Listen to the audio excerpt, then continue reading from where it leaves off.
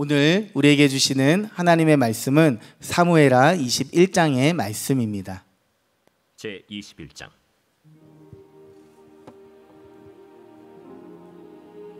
다윗의 시대에 해를 거듭하여 3년 기근이 있으므로 다윗이 여호와 앞에 간구하며 여호와께서 이르시되 이는 사울과 피를 흘린 그의 집으로 말미암음이니 그가 기본 사람을 죽였음이니라 기브온 사람은 이스라엘 족속이 아니요 그들은 아모리 사람 중에서 남은 자라. 이스라엘 족속들이 전에 그들에게 맹세하였거늘 사울이 이스라엘과 유다 족속을 위하여 열심히 있으므로 그들을 죽이고자 하였더라. 이에 왕이 기브온 사람을 불러 그들에게 물으니라. 다윗이 그들에게 묻되 내가 너희를 위하여 어떻게 하랴? 내가 어떻게 속죄하여야 너희가 여호와의 기업을 위하여 복을 빌겠느냐? 기브온 사람이 그에게 대답하되 사울과 그의 집과 우리 사이의 문제는 은금에 있지 아니하오며 이스라엘 가운데에서 사람을 죽이는 문제도 우리에게 있지 아니하니이다. 너희가 말하는 대로 시행하리라 우리를 학살하였고 또 우리를 멸하여 이스라엘 영토 내에 머물지 못하게 하려고 모해한 사람의 자손 일곱 사람을 우리에게 내주소서. 여호와께서 택하신 사울의 고을 기브아에서 우리가 그들을 여호와 앞에서 목매어 달겠나이다. 내가 내주리라 그러나 다윗과 사울의 아들 요나단 사이에 서로 여호와를 두고 맹세한 것이 있으므로 왕이 사울의 손자 요나단의 아들 무비보셋은 아끼고 왕이 이에 아야의 딸 리스바에게서 난 자 곧 사울의 두 아들 알모니와 무비보셋과 사울의 딸 메라백에서 난 자 곧 무홀라 사람 바르실레의 아들 아드리엘의 다섯 아들을 붙잡아 그들을 기브온 사람의 손에 넘기니 기브온 사람이 그들을 산 위에서 여호와 앞에 목매어 달매 그들 일곱 사람이 동시에 죽으니 죽은 때는 곡식 베는 첫날 곧 보리를 베기 시작하는 때더라. 아야의 딸 리스바가 굵은 배를 가져다가 자기를 위하여 바위 위에 펴고 곡식 베기 시작할 때부터 하늘에서 비가 시체에 쏟아지기까지 그 시체에 낮에는 공중에 새가 앉지 못하게 하고 밤에는 들짐승이 범하지 못하게 한지라. 이에 아야의 딸 사울의 첩 리스바가 행한 일이 다윗에게 알려지매 다윗이 가서 사울의 뼈와 그의 아들 요나단의 뼈를 길르앗 야베스 사람에게서 가져가니 이는 전에 블레셋 사람들이 사울을 길보아에서 죽여 블레셋 사람들이 벳산 거리에 매단 것을 그들이 가만히 가져온 것이라 다윗이 그곳에서 사울의 뼈와 그의 아들 요나단의 뼈를 가지고 올라오매 사람들이 그 달려 죽은 자들의 뼈를 거두어다가 사울과 그의 아들 요나단의 뼈와 함께 베냐민 땅 셀라에서 그의 아버지 기스의 묘에 장사하되 모두 왕의 명령을 따라 행하니라 그 후에야 하나님이 그 땅을 위한 기도를 들으시니라. 블레셋 사람이 다시 이스라엘을 치거늘 다윗이 그의 부하들과 함께 내려가서 블레셋 사람과 싸우더니 다윗이 피곤함에 거인족의 아들 중에 무게가 300세겔 되는 노창을 들고 세 칼을 찬 이스비브노비 다윗을 죽이려 하므로 스루야의 아들 아비세가 다윗을 도와 그 블레셋 사람들을 쳐 죽이니 그때 다윗의 추종자들이 그에게 맹세하여 이르되 왕은 다시 우리와 함께 전장에 나가지 마옵소서. 이스라엘의 등불이 꺼지지 말게 하옵소서. 그 후에 다시 블레셋 사람과 곱에서 전쟁할 때 후사 사람 시프게는 거인족의 아들 중에 삽을 쳐 죽였고 또다시 블레셋 사람과 곱에서 전쟁할 때 베들레헴 사람 야레오르김의 아들 엘 하나는 가드 골리앗의 아우 라흐미를 죽였는데 그자의 창자로는 배틀채 같았더라. 또 가드에서 전쟁할 때 그곳에 키가 큰 자 하나는 손가락과 발가락이 각기 여섯 개씩 모두 스물네 개가 있는데 그도 거인족의 소생이라. 그가 이스라엘 사람을 능욕함으로 다윗의 형 삼마의 아들 요나단이 그를 죽이니라 이 네 사람 가드의 거인족의 소생이 다윗의 손과 그의 부하들의 손에 다 넘어졌더라 하였더라 아멘. 하나님의 말씀입니다. 맥스 루케이도 목사님께서 예수님처럼이라는 책을 쓰셨는데요. 그 책을 보면은 자신의 딸과 있었던 이야기가 있습니다. 목사님이 놀이터에서 딸과 함께 놀고 있었어요. 그런데 아이스크림 차가 오는 것을 보고 아이스크림을 사러 가서 아이스크림을 사서 가지고 왔는데 와 보니 딸의 입에 모래가 가득 차 있는 것이에요. 어, 모래가 가득 차 있는 모습 그대로도 너무 사랑스럽고 예뻤지만 아이스크림을 주기 위해서 입속에 있는 모래를 모두 다 빼낸 후에 또 물로 다 씻어낸 후에 그 후에 아이스크림을 주었다고 합니다. 너무 당연한 일이지요. 왜냐하면 입에 모래가 있는 채로는 아이스크림을 먹을 수가 없잖아요. 하나님께서도 마찬가지이십니다. 하나님은 우리의 있는 모습 그대로를 너무 사랑하십니다. 여러분들이 어린 시절에 많은 사랑을 받으셨는지 안 받으셨는지 모르겠습니다. 그런데요, 지금 여러분의 있는 모습 그대로 하나님은 사랑하셔요.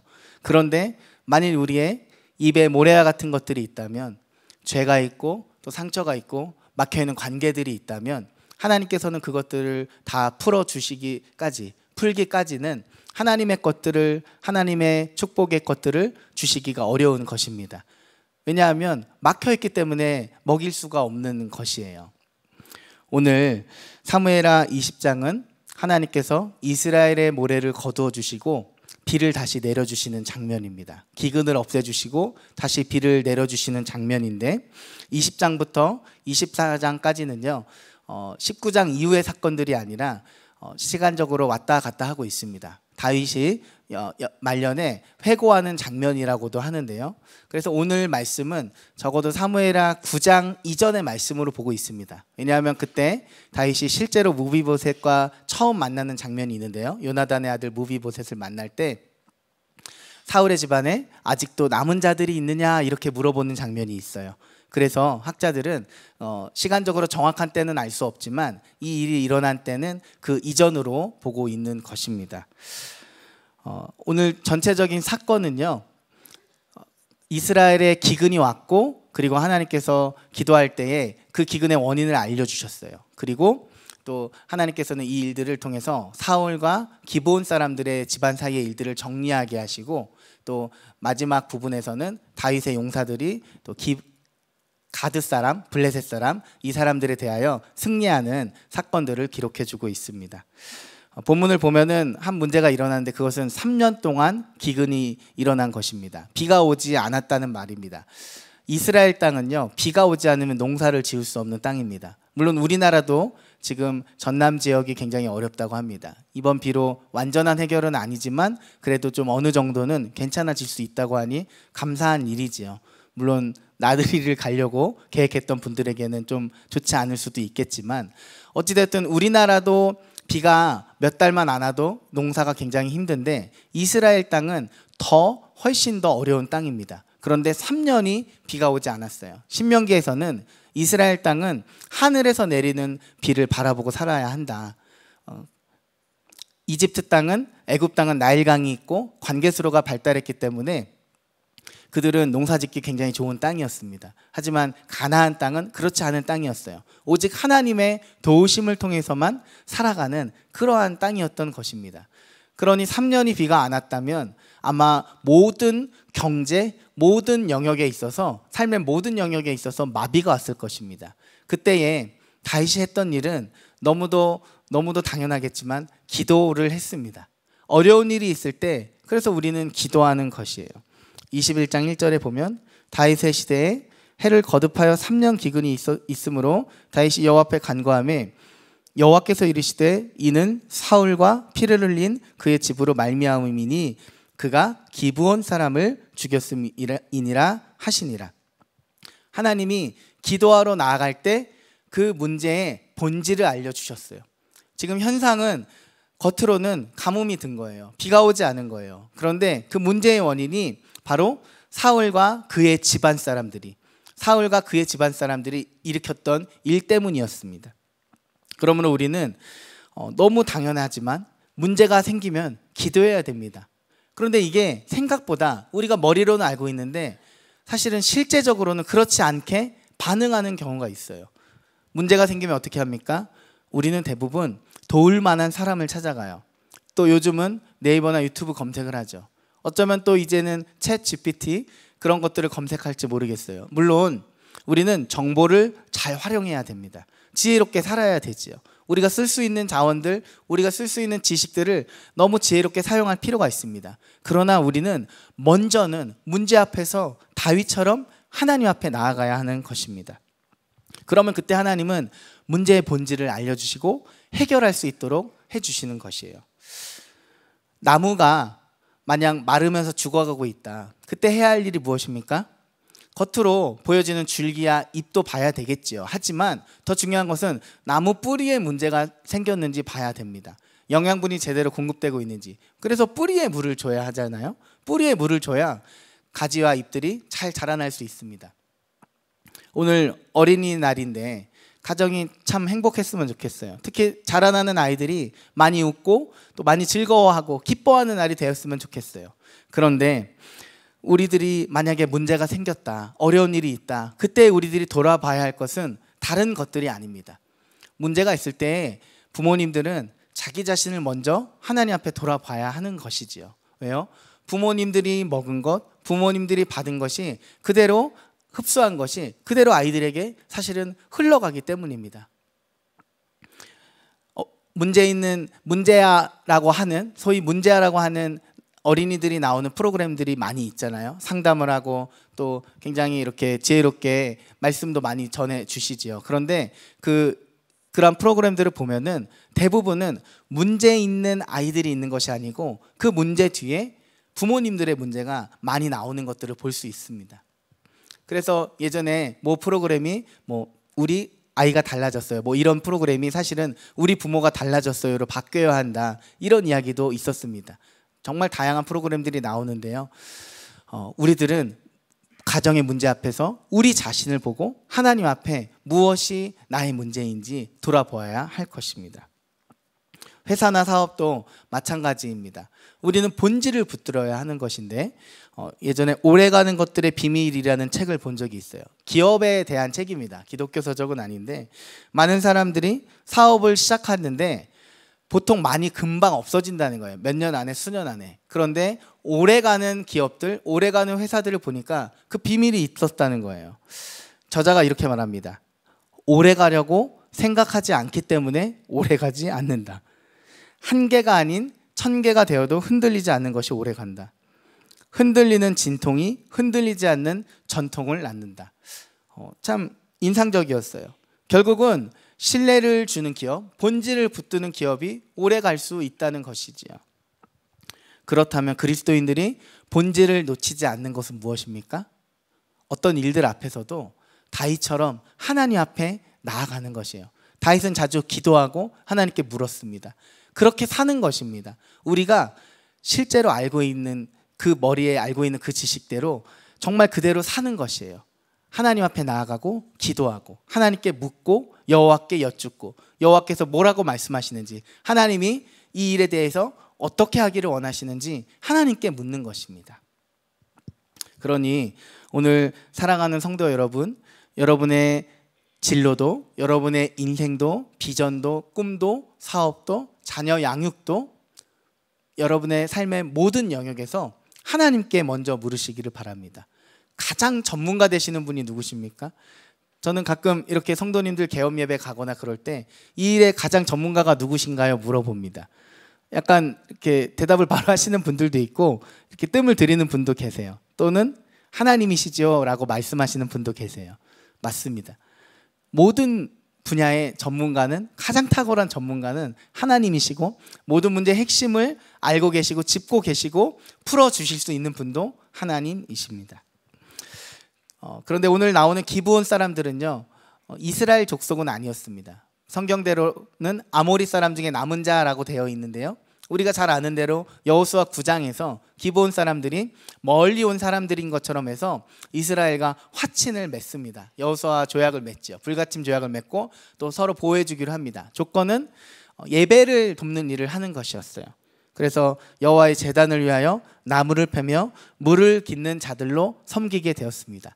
수백 년 동안 그들이 그렇게 살, 살아왔어요. 아마도 그들도 신실한 하나님의 사람들이 되었을 것이라고 여겨집니다. 그런데 사울이 사울의 때에 사울이 왕이었을 때 이들을 억압한 거예요. 어, 유다와 이스라엘 위한 열심이 있었다고 하지만 정확한 원인을 알기는 어렵습니다. 어떤 분들은 뭐 민족주의 때문에 그랬다라고 하는데 어찌 되었든 다윗을 조금 도왔다는 이유로 높 제사장 85명을 죽였던 사울이었기 때문에 다른 민족을 죽이는 일은 아마도 훨씬 더 쉬웠을 것이라고 생각해요. 그런데 이 일은 하나님 앞에서 약조했던 수백 년 전의 일이지만 하나님 앞에 약, 약조했던 약속했던 이것을 어기는 일이었습니다. 그래서 하나님께서는 이 일에 대해서 기브온 사람들의 마음을 풀어주기 원하신 것이에요. 다윗이 기브온 사람들을 부릅니다. 그리고 묻습니다. 내가 어떻게 해야 되겠느냐? 그때 어, 그들은 이건 은금의 문제가 아닙니다. 돈으로 해결할 수 있는 문제가 아니라고 대답을 합니다. 돈 벌려고 자신들이 원한을 품고 있는 것 아니라는 거예요. 그러면서 이렇게 대답합니다. 사무엘하 21장 5절 6절에 그들이 왕에게 말하였다. 사울은 우리를 학살한 사람입니다. 그는 이스라엘의 영토 안에서는 우리가 어느 곳에서도 살아남지 못하도록 우리를 몰살시키려고 계획한 사람입니다. 그의 자손 가운데서 남자 일곱 명을 우리에게 넘겨주시기를 바랍니다. 그러면 주님께서 택하신 왕 사울이 살던 기부하에서 우리가 주님 앞에서 그들을 나무에 매달겠습니다. 왕이 약속하였다. 내가 그들을 넘겨주겠소. 이 말을 들은 다윗은요. 어, 요나단과 약속을 기억하고 요나단의 아들 무비보셋은 살려줍니다. 그리고 아야의 딸 리스바 원래 사울의 첩이었죠. 그의 아들 둘과 또 사울의 손자 정도 되는 다섯 명의 사람들을 기브온 사람들에게 내어 줍니다. 어, 성경을 보면은 그런데 또 리스바의 아들 중에 무비보셋이 나오고요. 또 그 바르실레라는 사람이 등장하는데 앞서 압살롬과의 전쟁 때 다윗을 도왔던 그들과는 다른 사람들입니다. 그렇게 일곱 명의 사람들을 기본 사람들에게 넘겨주고 그들은 실제로 일곱 명을 매달았습니다. 죽였다는 것입니다. 그래, 그런데 이 시체들을요 하늘에서 비가 내리기까지는 수습하지 못하게 했던 것 같아요. 그냥 내버려 둘 수밖에 없었던 것 같습니다. 그만큼 기본 사람들에 대한 학살이 단순한 몇 명의 학살이 아니었고 굉장히 거의 인종 청소에 가까울 정도로 어려운 상황이었다는 것이고 기본 사람들의 마음이 상심이 컸다는 일입니다. 또 한편으로는 비가 내리기까지는 그 일들을 이 얽힌 일, 관계들이 풀어지지 않았다고 볼 수 있기 때문에 그대로 둘 수밖에 없었던 것이지요. 그런데 이 사건 속에서 또 아픈 사람이 나오는 것이지요. 아까 말씀드렸듯이 아의 딸 리스바입니다. 아, 그녀는 아마도 굉장히 아름답고 예쁜 사람이었을 것이라고 기록되어 있습니다. 그런데 사울 왕의 총애를 받았지만 사울이 죽지요. 그 이후에는 사울의 아들 이스보셋이 왕이 되잖아요. 이스보셋의 군대 장관 아브넬이 이 리스바에게 다가갔습니다. 그와 함께 했어요. 그런데 또 아브넬도 요압에게 죽었습니다. 이 여인이 계속해서 어려운 일들을 겪고 있는 것이에요. 그리고 이후에는 오늘 이렇게 하루아침에 두 아들을 잃어버린 사건이 일어난 것입니다. 아마도 굉장한 큰 상심이 또 있었을 것입니다. 이때 그 여인이요. 그 자녀들의 시체를 지키기 위해 이런 행동을 했습니다. 사무엘하 21장 10절에 보면 아의 딸 리스바가 굵은 배를 가져다가 자기를 위하여 바위에 펴고 곡식 빼기 시작할 때부터 하늘에서 비가 시체에 쏟아지기까지 그 시체에 낮에는 공중에 새가 앉지 못하게 하고 밤에는 들짐승이 범하지 못하게 한지라. 학자들마다 의견이 좀 다르기는 하지만요. 이 일을 리스바가 최소한 1개월 정도, 길게는 6개월에서 7개월까지 했다고 봅니다. 그러니 바위에 굵은 배를 펴고 계속 거기서 생활한 거예요. 그러면서 낮에는 밤에는 계속해서 들짐승과 새로부터 지키기 위해서 그 시체를 지키기 위해서 온갖 노력을 했던 것입니다. 참 마음이 아픈 일이에요. 또 이해하기 어려운 일입니다. 어, 사울과 그의 자손의 죄값을 치르는 일임에도 또 한편으로는 이런 리스바라는 그 어머니에게는 정말 가슴 아픈 사건이 되어버린 것이에요. 이렇게 죄는 계속해서 상처를 낳고 또 상처는 또 죄를 낳고 이러한 관계들 얽히고 설키고 막히는 이러한 관계들을 보게 되는 것입니다. 저는 그런데 그러면 왜 비가 바로 내리지 않았을까 이해되지 않았습니다. 왜, 왜 이렇게 비를 바로 내려주시지 않았을까? 이렇게 시간이 지난 후에 다윗이 리스바의 일을 듣습니다.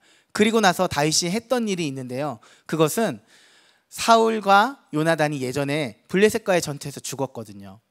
그런데 죽었을 때 벳산 성벽 거리에 매달았습니다. 그것을 길르앗 야베스 사람들이 데리고 왔습니다. 그것을 가지고 왔어요. 시체들을 수습은 해주었지만 장례는 완전히 제대로 치르지는 못한 상황이었어요. 다윗은요 이것을 이것을 생각하고 다시 사울과 요나단의 뼈를 가지고 옵니다. 그리고 매달렸던 일곱 명의 뼈까지 같이 갖고 와서 이것들을 잘 합장해서 사울의 아버지 기스가 안치된 곳 그 묘에 합장을 해줍니다. 어, 참 이해하기 어려워요. 사울의 자손들은 죽게 하시면서도 또 한편으로는 사울과 요나단의 뼈는 제대로 수습하게 하시는 일. 참 어려운 일이고 너무도 복잡한 일들입니다. 그런데 분명한 것은요. 하나님의 섭리를 알지 못할 때에는 온전한 회복을 하기 어렵다는 것이고 하나님께서는 기본 사람들에게 사울 자손을 또 내어줬지만 또한 하나님께서는 자신이 선택했던 사울 왕의 장례를 또한 제대로 마무리해 주시는 것을 볼 수 있습니다. 또 우리가 알아야 할 것은 죄에 대해서는 분명히 죄값을 치러야 한다는 것입니다.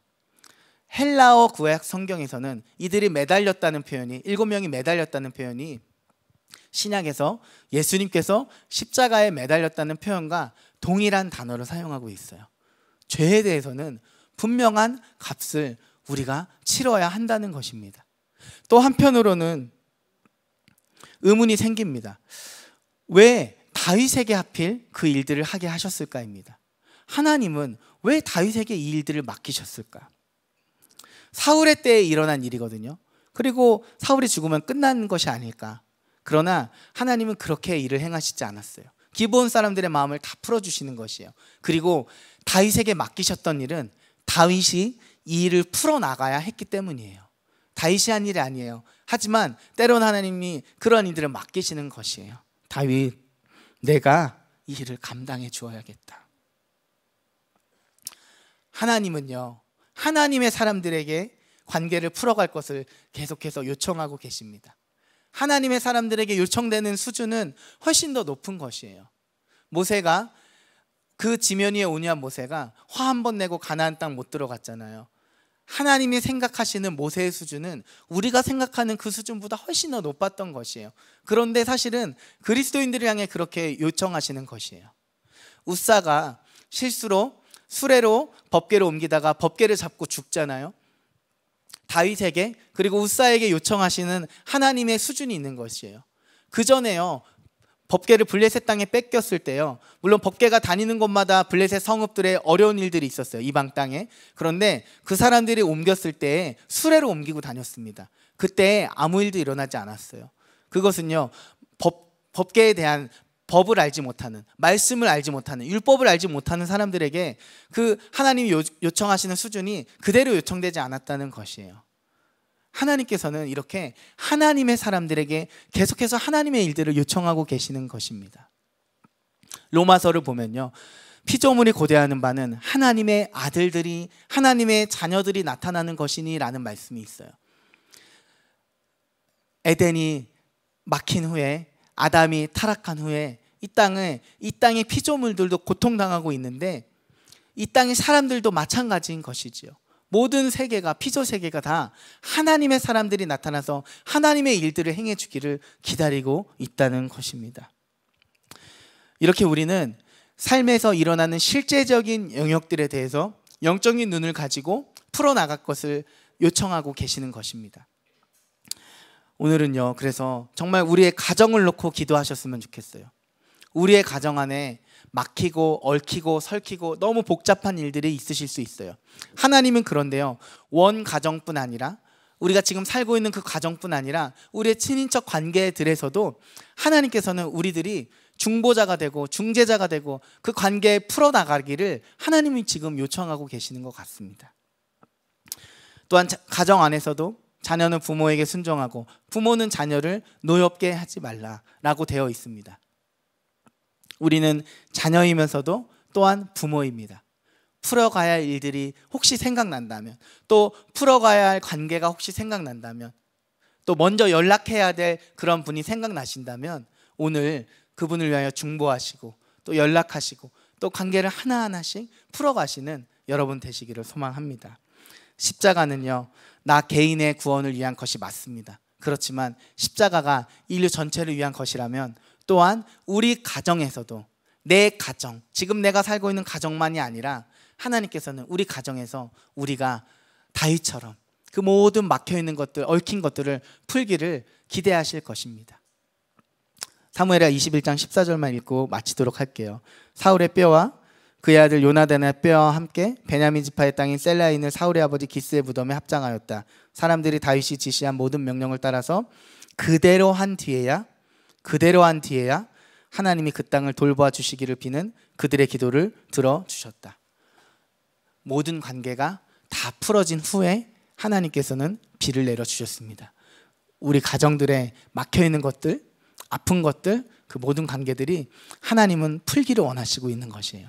그래서 그것들이 풀어지시고 또 하나님의 비, 하나님의 은혜의 비를 경험케 되는 우리 가정 되기를 소망합니다.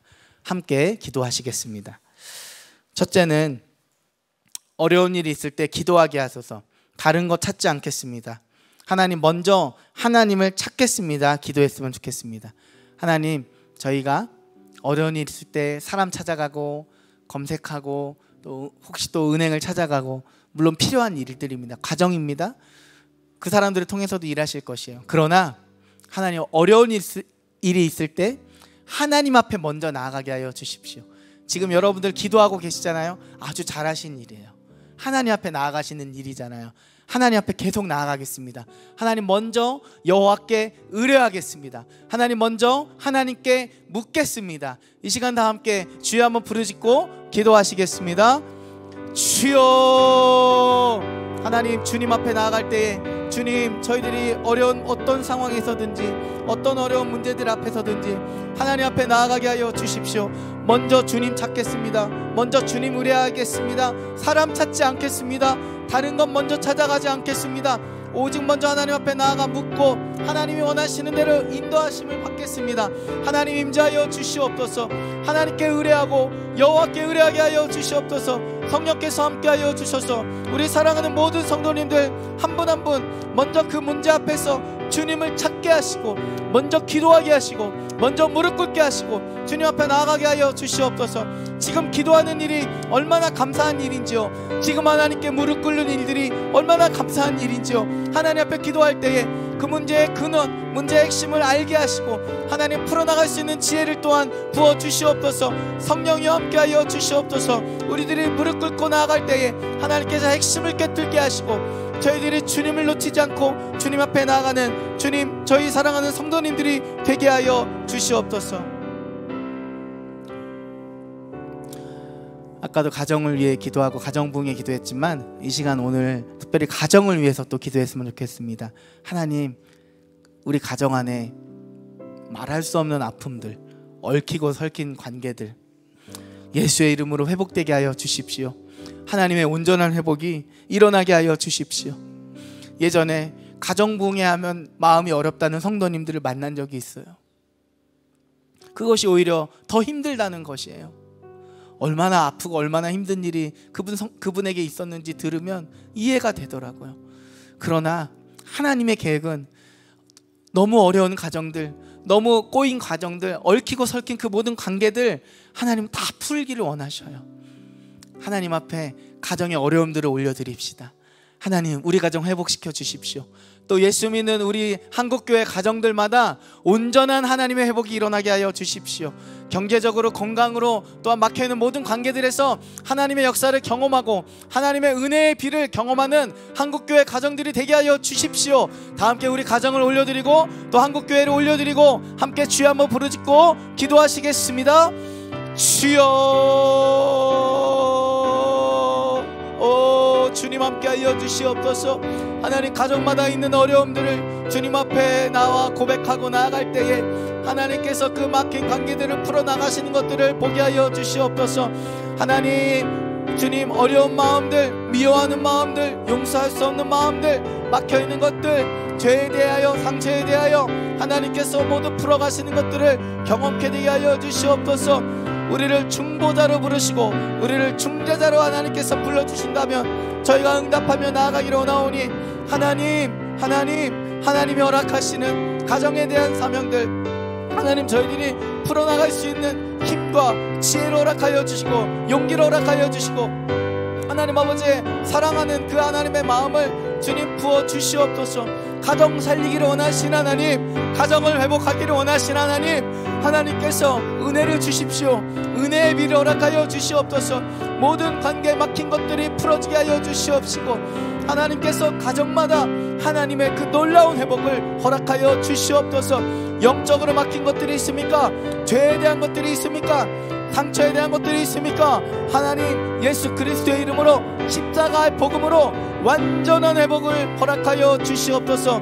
가정 가정마다 한국교회 가정 가정마다 예수님으로 인하여 완전히 회복되게 하시고 사랑하는 성도님들의 그 기도를 통하여 하나님 그 중개의 역할을 통하여 하나님 완전한 회복을 허락하여 주시옵소서 경제적으로 어렵고 힘든 가정이 있습니까?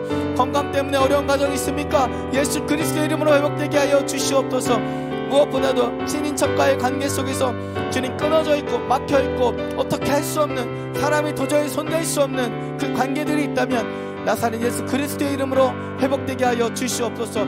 보혈로 덮어 주시옵시고 하나님께서 일하여 주시옵소서